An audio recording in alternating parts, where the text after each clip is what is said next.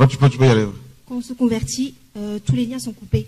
Tous les liens sont coupés à la conversion. Donc euh, les liens familiaux, les Tout. liens- Mais euh, je comprends pas parce que du coup, euh, en fait, je connais une personne, un chrétien, enfin, peu importe, enfin, une personne chrétienne, elle, elle a donné sa vie au Seigneur, mais vous dites que les liens sont coupés, mais je comprends pas parce que trois ans après, elle se rend compte que son âme est possédée en fait. Donc, comment c'est possible? Très bonne question. On a des cas où des chrétiens sont encore possédés. Et l'on se pose la question, mais Seigneur, si ces gens euh, sont délivrés à, leur conversion, comment ça se fait qu'ils sont toujours possédés? Il y a plusieurs hypothèses. La première, c'est, ce sont des personnes qui sont véritablement converties, comme, euh, euh, n'est-ce pas, euh, d'autres, comme euh, euh, dans les Écritures, on a le cas de Dé- Démas, hein, qui a abandonné la foi par amour pour le monde. Paul le dit. Démas était un collaborateur de Paul. Paul l'avait même recommandé aux frères et sœurs. C'était un chrétien engagé. Mais en cours de route, hein, pendant sa marche chrétienne, eh ben, il s'est fait, il s'est laissé séduire par l'ennemi et il est reparti le monde.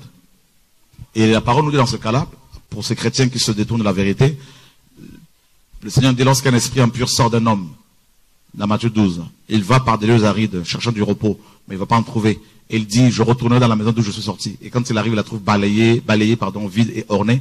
Et il s'en va prendre cet autre esprit plus méchant que lui, et ils s'y établissent. Et la dernière condition de cette personne est pire que la première. D'accord? Et on a, Pierre le, le dit dans 2 Pierre 2, le chien retourne à ce qu'il a vomi. C'est écrit. Donc là, c'est des personnes qui se convertissent, mais qui repartent dans le péché, qui ouvrent une porte.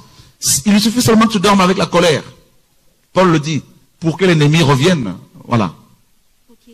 Et deuxième- la deuxième hypothèse, c'est des gens qui n'ont jamais été convertis, des gens qui ont fréquenté les assemblées, qui ont côtoyé les chrétiens, qui ont même prêché l'évangile, chanté dans les chorales, mais ils n'étaient pas convertis. Ils avaient une double vie. Ok, mais du coup, comment c'est possible qu'une porte s'ouvre si le chrétien, il n'a pas toute la connaissance, en fait?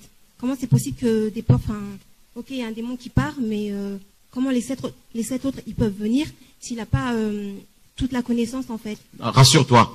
1 Jean chapitre 2 nous dit, au au verset 20, pour vous, l'onction que vous avez reçue vous enseigne toutes choses. Tu vois ce que je veux dire? Donc, rassure-toi, une personne qui se convertit véritablement, regarde, as-tu déjà été amoureuse? Qui t'a enseigné l'amour? Personne On acclame le Seigneur, alléluia. Vous voyez? Bon. Regarde, est-ce qu'il y a des choses que tu as commencé à faire une fois que tu es tombée amoureuse que tu ne faisais pas avant? Qui t'a appris à faire ces choses? Personne Non, je n'en entends pas. Personne Personne. Pourtant, quand, une fois que tu es tombée amoureuse, tu as eu toute cette connaissance-là. Tu peux même devenir, l'homme peut devenir même poète, alors qu'il n'a pas appris la poésie. Il devient ponctuel, alors qu'il n'a pas été enseigné sur la ponctualité. Il devient un parfumeur, alors qu'il n'a jamais appris à, se parfumer. Il devient coiffeur, il se coiffe bien comme il faut, il regarde dans la glace tout. On dit, mais qui t'a appris tout ça? Il sourit. On va dire, c'est pour te dire que c'est l'amour qui m'a appris tout ça. Tu, tu comprends?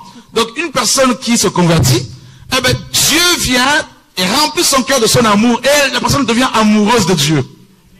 Donc, tout ce qui est mensonge, impudicité, colère, c'est pas un pasteur qui doit apprendre à cet homme-là ou cette femme ces choses. Dieu directement lui apprend. Tu comprends? Voilà.